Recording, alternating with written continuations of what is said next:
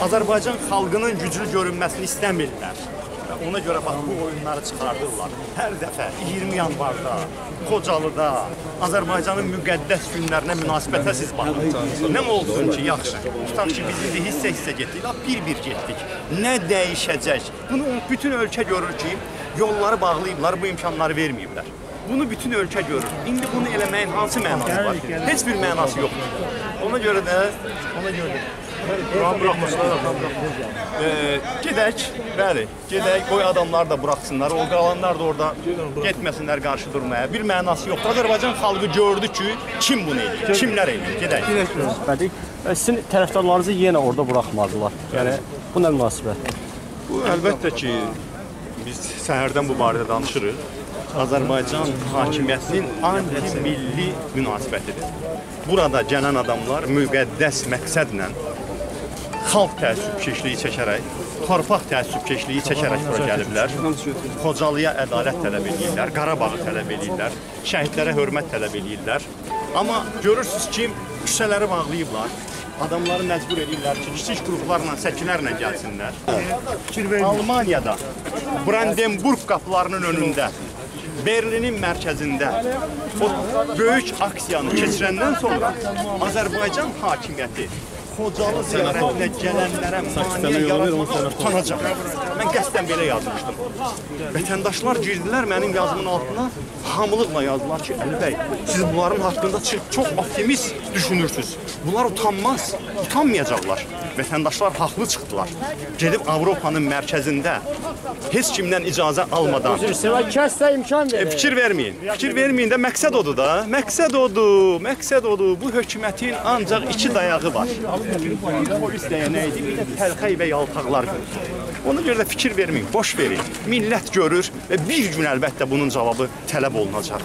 Bəli, sən gedib Almaniyanın mərkəzində Xocalı üçün aksiya keçirdib öz paytaxtında Xocalıya ədalət tələb edənlərin başına bu oyunu açanda heç kim səni saymaz. Kimdən tələb eləyəcəksən o ədaləti? Əgər özün bu vəziyyətdəsənsə, özün ədalətsizsənsə, kimdən tələb eləyəcəksən bu ədaləti sən? Ona görə də bilmək lazımdır ki, hər şey səbəbli əlaqəsi var.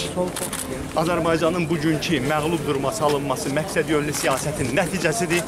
O məqsədyönlü siyasət təkcə müxalifəti yox, milləti və dövləti zəiflətmək siyasətidir. Bax bu siyasət Azərbaycanı zəif durma salıb, bu gün də biz şəhidlər veririk, bu gün də bizimlə hesablaşmırlar. Ehtiyatdan qalxırıq.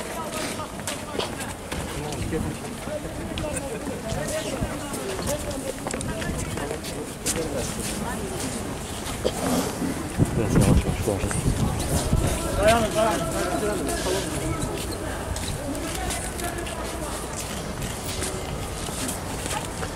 Baxın yenə sizə bu hakimiyyət yönlü e, özlərini bloger adlandıran şəxslər oradan təhqirlər yağdırıldılar. Yəni Xocalıda lazımdırmı bunlar? Fikir verməyin. Səviyyəsizlik artıq bunların həyat tərzidir. Səviyyəsizlik, aşağılıq, bax budur. Bu cür faciə günündə də bu təlxəklərdən əl çəkmirlər. Allah şəhidlərimizə rəhmət eləsin. Belə qalmayacaq. Onların da qisasını alacağıq. O canilər də məsuliyyətini daşıyacaq. Xocalı üçün də, Qarabağ üçün də, Azərbaycan üçün də bu millət ədaləti gətirəcək. Bütün antixalq qüvvələr də cavablarını və cəzalarını alacaqlar. Heç kimin şübhəsi olmasın buna. Sağ olun. Allah şəhidlərimizə rəhmət eləsin. Bir problemimiz yoxdur. Biz Xocalı üçün ədalət istəyirik. Biz Qarabağ üçün ədalət istəyirik. Biz nə istəyirik? Təlxəkləri çalırlar bizim üstümüzə. O təlxəklərə polis müdafiə edə bilməz. Onlar elə belə təlxək deyirlər, uşaq təlxəyidirlər. Və ona görə də onlar xüsusi məqsəd yönlü şəkildə göndəriliblər. Bu mənada bizim aqressiyamız millətin bütövlükdə yönəlməməlidir polisin üzərinə. Polis əmri yerinə yetirir. Amma millət fərqində olmalıdır ki, nə qədər mənəviyyatdan və vətənpərvərlikdən uzaq bir hakimiyyət Azərbaycanı idarə edir. Daha doğrusu idarə eləmək də demək olmaz ki, əsarətindədir Azərbaycan. Belə bir ədalətlə. Bunları çəkin, bunları çəkin.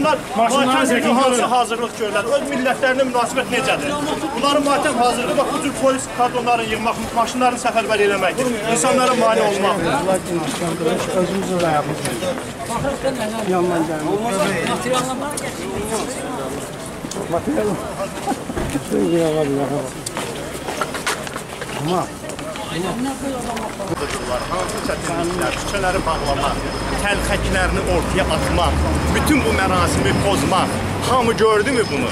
Görün və unutmayın. Bu adamların qəlbində nə Qarabağ sevgisi var, nə Xocalı, nə şəhidlərə hörmət var, nə vətən millət duyğusu var. Bunu heç kim unutmasın və bilsin ki, bu millət xilas olmayınca nə Qarabağ xilas olacaq, nə Xocalının qanı qisası alınmış olacaq.